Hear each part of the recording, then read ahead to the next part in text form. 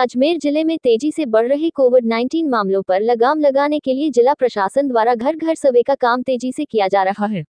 सर्वे के दूसरे चरण में ज़िले में एक लाख से अधिक घरों तक विभाग के अधिकारी, कर्मचारी पहुँच चुके हैं और इस दौरान करीब सात हज़ार सर्दी, जुकाम, बुखार, खांसी के पीड़ित मरीज़ पाए गए हैं। जिन्हें पर्याप्त दवाएँ उपलब्ध कराई गई है और उनसे अपील की गई है कि वह इस महामारी के दौरान बाहर न निकले जिससे कि अन्य लोग परेशान न हो। अजमेर के अतिरिक्त जिला कलेक्टर कैलाश चंद्र शर्मा ने बताया कि डोर टू डोर सर्वे का दूसरा चरण एक बार फिर से शुरू किया गया है। इस चरण में सभी लोगों तक दवाएँ पहुँचाने के साथ साथ उन्हें ऑक्सीजन बढ़ाने के लिए दी गई।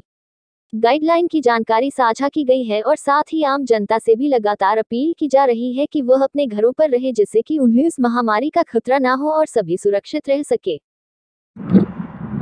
कोरोना के विरुद्ध जो एक तरह से युद्ध चल रहा है उसका एक महत्वपूर्ण पार्ट है डोर टू डोर सर्वे जिसके माध्यम से घर घर सर्वे करके और जो भी आई लक्षणों वाले पेशेंट्स हैं, जिनको खांसी है, जुकाम है, बुखार है, जो भी कोरोना के लक्षण हैं तो जिनको भी फ्लू के कोई भी किसी तरह के लक्षण हैं, उन व्यक्तियों का चिन्हीकरण इसके माध्यम से किया जा रहा है और मेडिकल किट उनके घर पे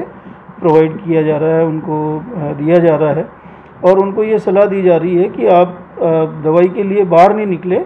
और जब भी आपको आवश्यकता हो तो संबंधित बीएलओ को एएनएम को या जो पास की डिस्पेंसरी है हॉस्पिटल है, उस पर आप फ़ोन कर दें तो आपके पास दवा पहुँच जाएगी। क्योंकि यदि संक्रमित व्यक्ति किसी भी कार्य के लिए बाहर निकलता है, चाहे वह दवा लेने के लिए अस्पताल जाता है या किसी चिकित्सक के पास जाता है तो वह और कई व्यक्तियों को संक्रमित कर सकता है। तो इस सर्वे का और मेडिकल किट वितरण का मुख्य उद्देश्य यही है कि जो भी व्यक्ति संक्रमित है, वह घर में ही रहे, बाहर नहीं निकले, ताकि संक्रमण को फैलने से रोका जा सके। इसके साथ ही साथ उनको प्रोनिंग के संबंध में समझाया जा रहा है टीम द्वारा कि प्रोनिंग जो एक्सरसाइज है, उससे ऑक्सीजन का लेवल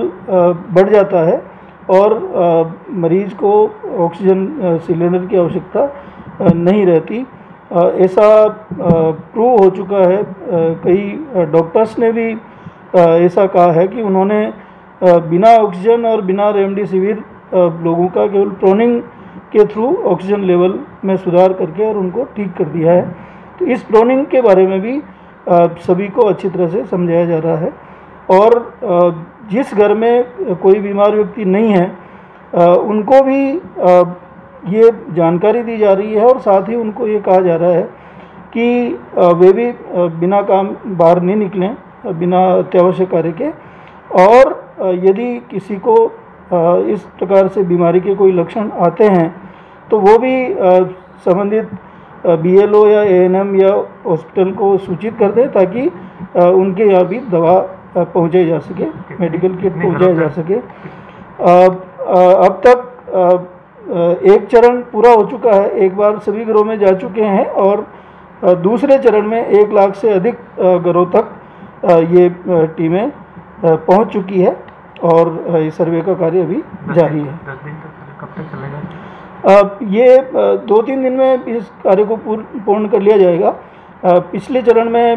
पाँच दिन में सर्वे पूरा हो गया था, जो कि पूरे ज़िले में चला था। और ये भी पूरे ज़िले में चल रहा है, और दो तीन दिन में ये सर्वे का कार्य पूर्ण कर लिया जाए